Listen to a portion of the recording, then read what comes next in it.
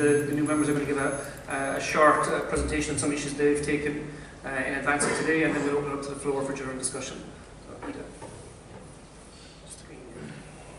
Okay. Um, right, so I was informed by Eddie that I'm supposed to be the soccer pundit here and survey the match, the results of the match. Um, however, what I'm trying to do here, um, I live in the Netherlands, I've been living there for 20 years, so and there's a very, very active debate about fiscal sustainability going on there. I'm very deeply involved in it, in my own head at least, and, um, and also at work. So I thought I'd just frame it in terms of the sort of debate that's going on there, because it's clearly all very relevant to Ireland. Um, and I also want to shift, even though I'm a member of the Irish Fiscal Advisory Council, I want to shift the emphasis a little bit from government and fiscal balance to the individual or the household and how we can try and ensure household welfare. Because really at the end of the day we're trying to maximise the welfare of all the individuals, citizens, residents, workers, whatever, in, in the country over a long period of time. Um, if winter is coming in Ireland, then it's pretty much autumn already in Holland and they're surveying the harvest, let's say. And the first thing I want to show, and I've only got three slides, so I'm not going to talk very, very, very much about it, but um, the first point I want to make, and I think it's a crucial point, is the long shadow that fiscal policy decisions of the past cast over the situation we're in now. The initial starting conditions, if you like, when we're trying to look about fiscal sustainability looking out across the sort of 50-year horizon we've heard about today, when we're looking at really quite alarming graphs about health expenditure, debt to GDP ratios, how on earth is this all going to be absorbed? Um, I want to tell you just a quick story about what they did in the Netherlands, and it started in the early mid-80s. This is a picture of the Dutch household balance sheet. And the green one is net wealth. So, that, like, this is a percentage of GDP. They're, they're, they're doing okay in terms of their wealth in terms of their assets. the uh, orange one on the left is housing wealth. And that's a really important one I want to talk about because this is where policy interacted with household behaviour really strongly in the Netherlands. They introduced mortgage tax relief up to a 30-year period at the marginal tax rate. And the marginal tax rate is 52% at the moment. And that meant that there was a huge increase in um, household borrowing, and that meant there was a huge increase, effectively, in house prices. So there was a transfer from the government to the home owning sector. And that's had a long legacy in terms of um, the effect it's had on the housing market. The second aspect of Dutch policy, I'm not, I'm not necessarily criticising it as somebody who gets a fact checking post every month from the, the, tax office because I bought a house. Um, the second aspect is on pensions, and the Dutch have a very large compulsory pension scheme, which is tax deductible again at the margin have recently started to try and reform it, and that's the, uh, the blue asset. So they've got something over 200% of GDP in, in pension assets. The, uh, the debate about pensions in the Netherlands is, is, quite novel in some ways, compared to many other countries where we have a paid as you go scheme. Um, but the, the upshot of this right now, given the 10 years after the financial crisis of very low interest rates and very low real interest rates is that households in the Netherlands are very illiquid. And facing into a fiscal sustainability problem, trying to figure out how to tackle the aging or the, the greying of the population when you have a working population, the ones who carry this, who are very illiquid, or are in a very illiquid position because they can't cash in their pensions and they're they're maxed out on the mortgages, poses significant problems. Okay. Um, the second slide is, I, I robbed it from the internet, I hope it doesn't uh, violate copyright, but it's a very familiar graph. it's the idea of the life cycle. I, thought, I want to look at this from the point of view of the individual, or the household if you like, and there's three phases effectively in terms of the life cycle during consumption. The idea is that we try to smooth our consumption across the lifetime through borrowing, dis savings, um, in the periods when we don't have any direct income, and saving in the period when we do have income. So that's split into three periods, A, B, and C. Um, a is the early life when you're not actually earning, when you're a child. B is your working life um, up to the variable retirement age, as we have heard.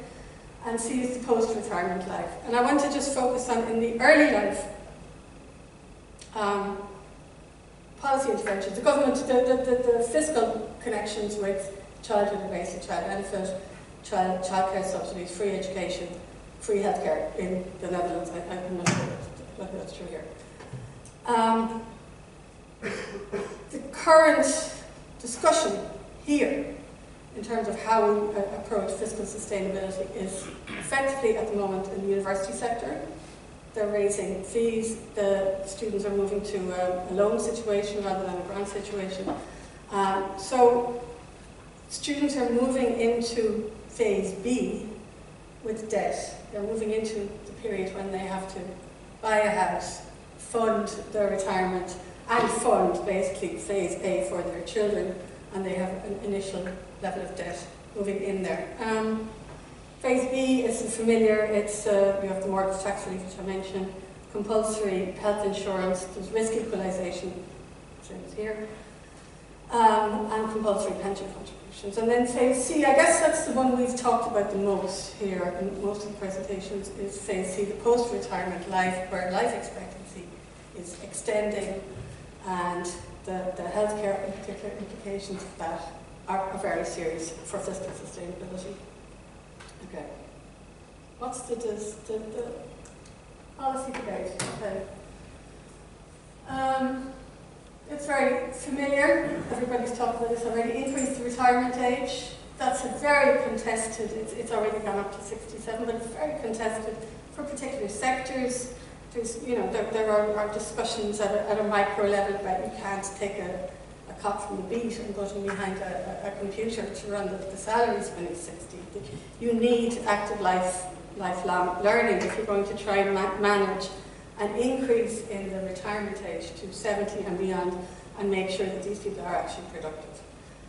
Um, active management of pension funds. At the moment in the Netherlands, that's probably the most bitterly contested debate, and the issue is really all about the interest rate at which pension funds measure their liabilities and their assets. The discount rate that they use, because the minute pension fund goes below um, 140% the funding ratio, benefits cut, contributions are increased, and then that again has an effect on the, the B block, if you like, in the life cycle.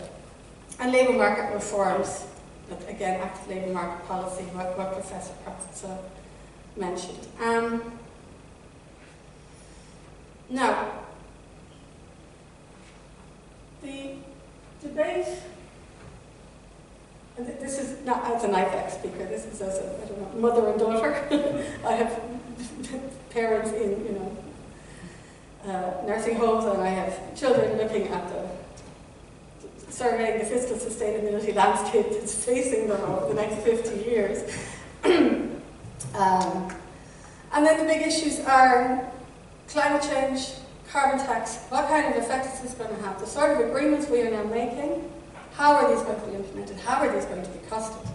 And who's going to pay? Um, and then a big issue is the issue around intergenerational equity and also I think, and this, I don't know if it's controversial, but I think also gender equity to a certain extent um, because we're now moving into a retirement age, a, a, cohort of women who worked all their lives, but the gender pay gap is still there. I, I, I fully understand why, I know the studies, I don't think it's a discriminatory gap, but it is there. So it does mean that we're going to have, in 20 or 30 years' time, women with a lower income than men, structurally. And it seems to me that all of these structural things that are building up are interesting, important, and need to be discussed now. Health, I'm not even going to go there. I think Maev-Ann gave a fantastic um, presentation about the, the, the, difficulties and the complexities of the Irish health sector, and I, I don't have anything to add to that. But clearly, that's the, the core, the core health, the core, um, what's the word for, expense facing us, if you like, if, if, if nothing is done. But we saw that from the OER presentation. Um, looking at uh, a, a government, the size a government sector moving from 36 to 46 percent. I, I can't see that happening. I can't see that being sustainable. Is that sustainable? Is that something that we collectively in society would like? no, but it seems to me it's a debate that needs to, to start.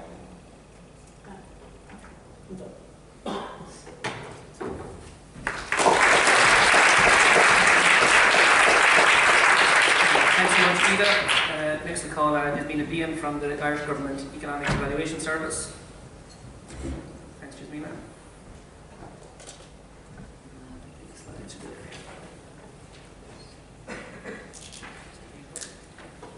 Um, okay, so I only have a few minutes, so um, I'm going to start with this slide. So I'm going to come from the expenditure side. Um, this slide just shows you the total government expenditure for this year. Um, the total purse is 76 billion, of which about 10 billion is um, uh, allocated to EU, payments and debt servicing, and then the rest goes uh, into providing public services and uh, public spending.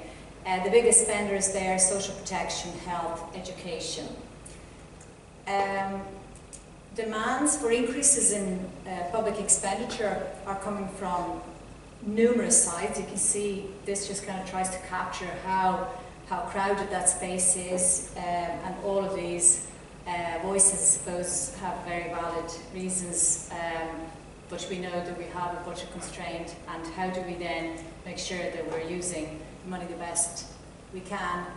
Um, Population projections, we've heard a lot about demographics and you know the impact. We all know, regardless of what we think about fertility rates are going to look like or migration flows are going to look like, all lines are going up.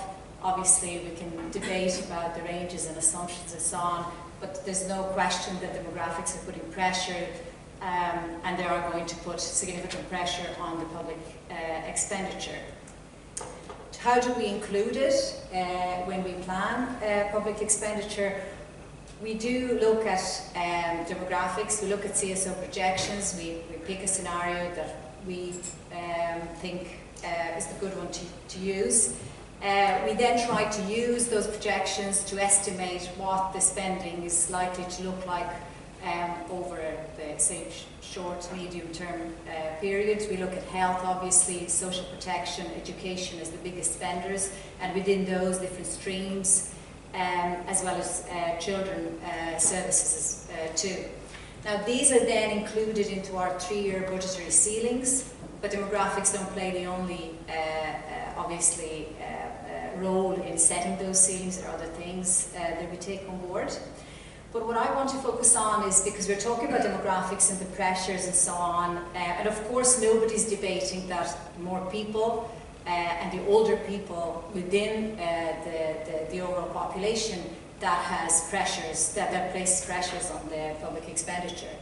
Um, what I'm going to, I suppose, um, uh, talk about is, is maybe looking at other things that we need to bear in mind when we're, when we're thinking about what the demand and expenditure um, is. So it's not just about age, it's about other attributes of the, the, the composition of the population that, uh, that, will, that will demand, that will uh, uh, create the, the, the, final sort of demand on, uh, on the services. And then nobody's talking about maybe downward pressures of demographics in certain areas um, and, and whether we ever um, actually reduce expenditure because there is maybe um, less demographic pressure in a particular spending area. So um, I start here with uh, something that I've stolen from uh, Otto von Bismarck, who said that laws are like sausages and it's better not seeing them being made.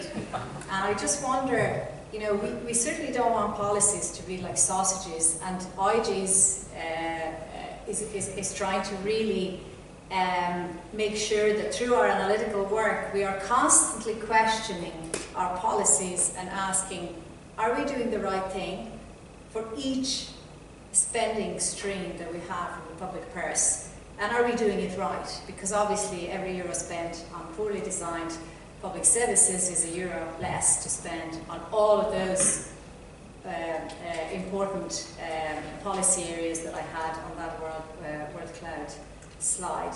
So I am going to talk about health just a little bit more, just to add, I suppose, um, another maybe perspective on the complexity. And, eh, you know, we were talking about demographics and then Jim was talking about costs as well. Um, so of course, you know, the demographics when you, when you think, when we think about health are, are, are very important and uh, the, the, the, more people we have and the older they are, um, that's going to put significant pressure on demand for healthcare services. But there are other things as well that, um, that impact on healthcare expenditure and they were also uh, mentioned here by, by a number of speakers. And you know, there's obviously where we are in the business cycle, uh, but importantly, what are our structures and incentives that we have set up in the system? Um, and then, of course, the technology, and, and Jim spoke about that as well. So this was already said, health is a very labour-intensive sector. We seem to be paying for provision rather than performance, which again, you know, raises a question about the implications for the spending. And then we know that acute care is more expensive than primary, and we're trying to kind of rebalance those. And the question is, how, how are we doing in relation to all of these? And I suppose my argument is that you know, before we start thinking about the demographic pressures and expenditure, which are sort of looking at that incremental increase, I think we need to reflect very, very strongly on what we're doing now and to try to see how the dynamics are different drivers and whether we can actually make savings and do things better before we start thinking about just the headcount and the aging and, and, and the cost of, of, of, drugs that are coming on stream. And in that context, IGES has done a lot of work trying to get under the bonnet of what the drivers actually are. And uh, we all know that we have been running serious overspendings in the area of healthcare. And um, we can see that uh, being a labour intensive sector as well, it's not surprising that a lot of it is going on staff. But when you think about that in the, in the three-year period since the moratorium was lifted in 2014, HSE recruited additional 14,000 people into the service. Um, that just alone uh, is, is a pretty striking figure. Importantly then, when we look at that, you can say, well, there was a pent-up demand and so on. We had a significant cost constantly running on the agency staff that was trying to deal with that issue of moratorium and the demand that was there, probably, you know, significantly coming from the de demographic sources. But now that, that we're significantly increasing the number of, of, of people working in the, uh, employed by the HSE, we don't see decre decreases in the um, agency staff, and I think uh, maybe Anne's uh, charts show that as well. So that then, when you look at the more expensive sort of provision set, uh, set up in the acute sector, uh, it's kind of, when you look at the uh, whole time equivalents uh, per se day case, they're increasing. So we're not seeing, we don't seem to be getting actually much efficiency out of, out of the, the, the, the staff that is actually increasing in the, in the sector. When we look at primary care then, uh, we're trying obviously to rebalance and have more emphasis on the primary care, which should deliver us maybe better value for money and, and, and potentially better care as well um, for, for people. And we look at, say, medical cards and GP visitation cards. Um, demographics, of course, play, play an important role, but then when we looked at this, we could see that um, as the economic, um, uh, economic recovery sort of started, the labour market improvements also meant that certain cohorts actually um, did not qualify anymore for medical cards um, and that there was a downward pressure coming from that uh, business cycle side even though the ageing population um, um actually meant that there was maybe more cost coming from, from the demographic side. But you know, there were two forces going in different directions. On top of that, while the older cohort, of course, uh, has, a, has, a, has a greater sort of cost associated in terms of drugs, um, we also, when we, when we analysed the drug side, we could see that the cost of drugs is actually going down. And not the least because, you know, there was uh, analytical work done by IGES that was kind of questioning why Ireland was paying so much and then the new deal with the pharmaceutical industry was struck some years ago that is now yielding some savings there for us. Now that of course is then offset with the high-tech drugs and the expenses that are coming there and the choices that we have to make around what we what we fund in terms of high high-tech drugs. So basically what I'm illustrating here is that the, that yes demographics play a part but there are other things as well that might be cancelling that as well, and other things actually emerging. And it's about netting out where does this actually stand. And then again, in, terms of more, uh, more efficiency and kind of trying to, to look at, say, um, care for the elderly and the home care packages and the home, uh, home help services that we have, you know, when we analyse this, we could see that while these two types of services are, are sort of uh, trying to aim, um, have similar objectives, they, they have very different costs and they seem to be practiced in different magnitudes around Ireland. So depending on what region you look at, some regions prefer home care packages and some home help. They have different cost tag attached to them and there's no obvious reason that there is an underlying difference in the population that they're surveying. So basically, uh, what I'm trying to say here is that uh, yes, demographics are important. Yes, we're incorporating demographics and trying to estimate um, uh, future public spending, but there is a serious complexity and there's still serious issues that we need to sort of understand to be able to drive uh, greater efficiencies and savings before we start thinking about increases in expenditure. And IGES is busy working, not just in health, but in all other policy areas to try to get under the bonnet of what the drivers actually are and to ensure for all of us uh, better value for money and better services to the taxpayer. So I'll leave it there. Thank you.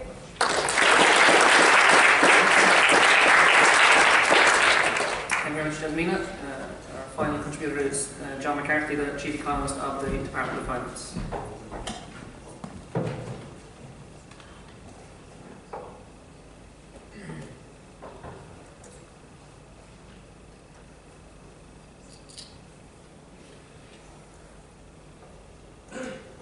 Okay, thanks Seamus and um, good afternoon. Uh, what I'm going to do then uh, in my uh, couple of slides is to, is to take the opportunity to give a, a brief synopsis of some of the work uh, that we're doing in, in the Department of Finance on uh, long-term fiscal sustainability. Uh, we publish a report every couple of years looking at this and the latest iteration was, was published in, in August uh, undertaken by my colleague David Hughes, who did the, the hard sums in this area. Okay, uh, as, as everybody knows, uh, an aging population is now a feature of many advanced economies. Uh, several are, are, at a tipping point, uh, the likes of uh, Japan, the US, Germany and, and, some other euro area countries. Um, but in Ireland, our demographic structure is still relatively favourable present. However, uh, that is expected to shift in, in the coming decades, uh, and that will pose challenges for the Department of Finance. And this is one of the reasons why we're, we're engaged with other treasuries across the European Union and why uh, the Commission, along with the Member States, publishes uh, a report on this every so uh, if, if you look at uh, the position at the moment, uh, OADR here is the old age dependency ratio. Uh, at the moment, uh, it's about uh, one in five, so there are about five workers of working age supporting every retiree. Um, in, in the space of uh, 30 or 40 years, that will rise to, to nearly 50%. In other words, there will be just two workers supporting uh, every retiree. So uh, that will have implications then uh, for the public finances.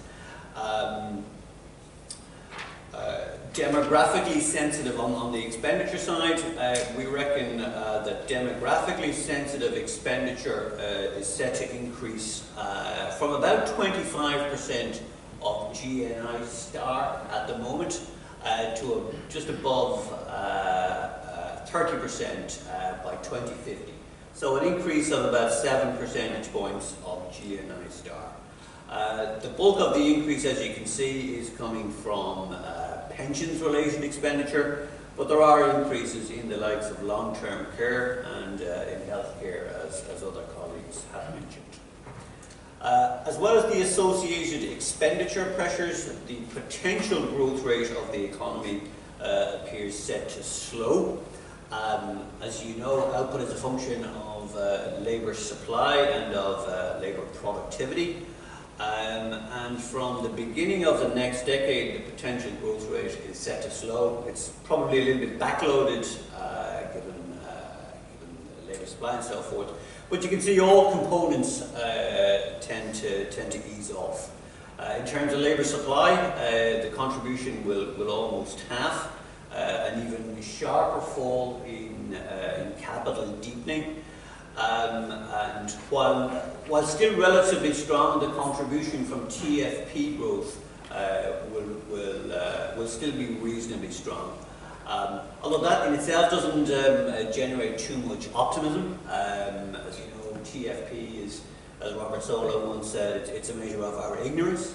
So Ireland, in common with a lot of, of advanced countries, where TFP is the main driver of growth, we're sort of pinning our hopes on something that, uh, that we know very, very little about.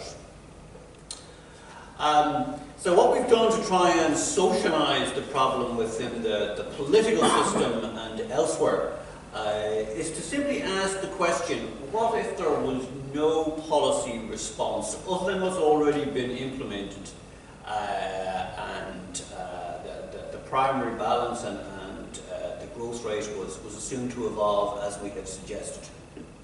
This is a purely hypothetical scenario, I, I would stress.